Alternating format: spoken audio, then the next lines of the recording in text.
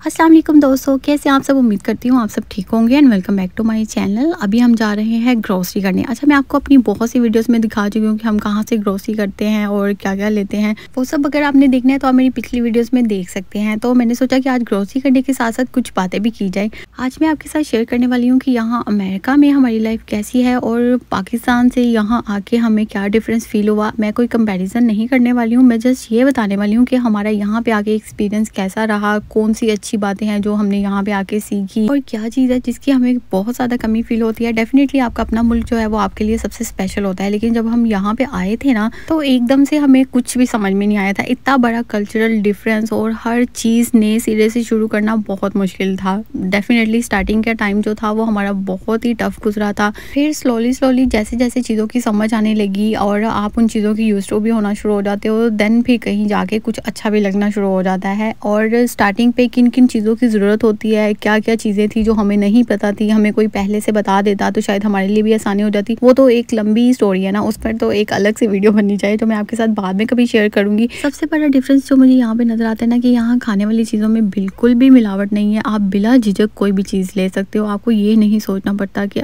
फलां जगह से अच्छी मिलेगी और यहाँ से अच्छी नहीं मिलेगी। अगर दूध में उन्होंने पानी डाला हुआ है तो वो भी उन्होंने लिखा हुआ है। अगर लो फैट दूध है, वो भी लिखा हुआ है। फुल फैट दूध है तो लिखा हुआ है। कोई भी चीज़ ऐसी नहीं है जिसके ऊपर मेंशन नहीं है। जैसे फ्रूट्स अगर पड़ा हुआ है ना, अगर तो वो बिल्कुल फ्रेश है ना तो वो आपको पूरी कीमत पे मिल जाएगा। और अगर वो थोड़ा सा गला सड़ा है ना, गला, जैसे केले थोड़े से गल सड़ जाए ना तो वो उन्होंने अलग से रखे होते हैं कम प्राइस पे। आपकी मर्ज़ी, आप वो लेना चाहते हो, ले लो, नहीं तो फ्रेश वाले तो पड़े ही हुए हैं। और ये बात मुझे बहुत अच्छी लगती है। और दूसरी चीज़, आप यहाँ स्टोर पे कोई भी चीज़ खरीद लो ना, आप तीन माह के अंदर अंदर उसको वापस कर सकते हो, चाहे आपने वो इस्तेमाल ही क्यों ना की हो। यहाँ हर स्टोर पे रिटर्न एंड एक्सचेंज वाला काउंटर अलग से बना होता है। आप चाहे चीज़ दस दफ़ा भी वापस करोगे ना, वो लोग हंस के रख लेते हैं और कोई भी आपको कुछ नहीं कहता, बल्कि इवन वो चेक भी नहीं करते हैं। और मुझे तो इस बात पे बहुत ही हैरानगी होती है, क्योंकि हम ऐसी जगह से आए हैं ना कि जहाँ पे पहले ही बोल दिया जाता है कि भी चीज़ वापस नहीं होगी। और गलती से अगर आप वापस करने चले भी जाओ ना तो आपको आगे से सुना दिया जाता है और आपके पैसे आपको वापस मिल जाए, ऐसा तो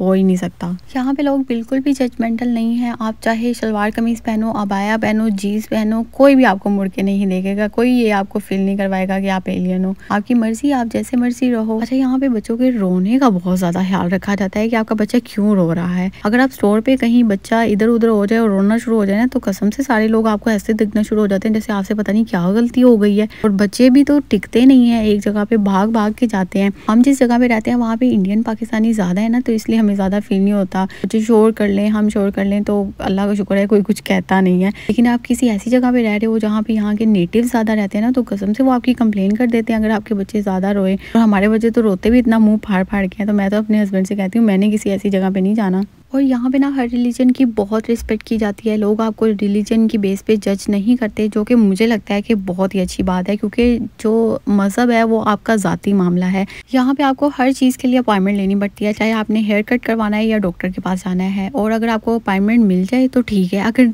ये लोग नो बोल देना तो नो का मतलब नो ही है। आप चाहे जितनी मर्ज़ी मिनते कर लो ना, ये नहीं मानते। अच्छा ये चीज़ मुझे ना थोड़ी सी सही नहीं लगती है। मेरे हस्बैंड तो कहते हैं कि सही है, ऐसे ही होना चाहिए, ये लोग सब्र करना सिखाते हैं। उनके रूल हैं। लेकिन मुझे ऐसा लगता है कि अगर आपको किसी डॉक्टर की अपॉइंटमेंट चाहिए स्पेशली बच, किसी बच्चे के लिए तो इनको ना अपॉइंटमेंट दे देनी चाहिए। लेकिन नहीं, ये आपको वेट करवाते हैं फ़ोन पे दवाइयाँ बता देंगे कि ये दे दो, वो दे दो वेट करो। आप जितनी दफ़ा भी फ़ोन करोगे, ये बोलेंगे वेट करो वेट करो। और एज अ मदर मुझे तो बहुत ही फील होता है कि मुझे ये होता है कि बच्चा बीमार है तो फटाफट इसको डॉक्टर को दिखा के सही बस हो जाए। वैसे तो अल्लाह माफ़ करे, अगर कभी ज़्यादा ज़रूरत पड़े तो आप अर्जेंट केयर भी जा सकते हो, लेकिन उसकी भी एक टाइमिंग है, उसके बाद वो बंद हो जाता है देन फिर लास्ट ऑप्शन बचता है एमरजेंसी में। वहाँ जाने से पहले भी सोचना पड़ता है कि आप जाओ और उनको नए सिरे से सारी बात समझाओ। और जब आप परेशान हो ना, तब तो इंग्लिश भी मुक जाती है, समझ ही नहीं आती है कि इनको कैसे अपनी बात समझाएँ। बस दिल करता है कि फटाफट ये समझ जाए और हमें दवाई दे दें। खैर, बातें तो बहुत ज़्यादा है करने के लिए, लेकिन वीडियो लंबी हो जाएगी और वैसे भी हमारी ग्रोसरी हो गई है। तो बस ये था मेरा आज का व्लॉग अगर वीडियो अच्छी लगी है इन्फॉर्मेटिव लगी है तो इसे लाइक और शेयर कर दे और मेरे चैनल को सब्सक्राइब करना नहीं भूलिएगा। मिलते हैं अगली वीडियो में, तब तक अपना बहुत ख्याल रखें। अल्लाह हाफिज़।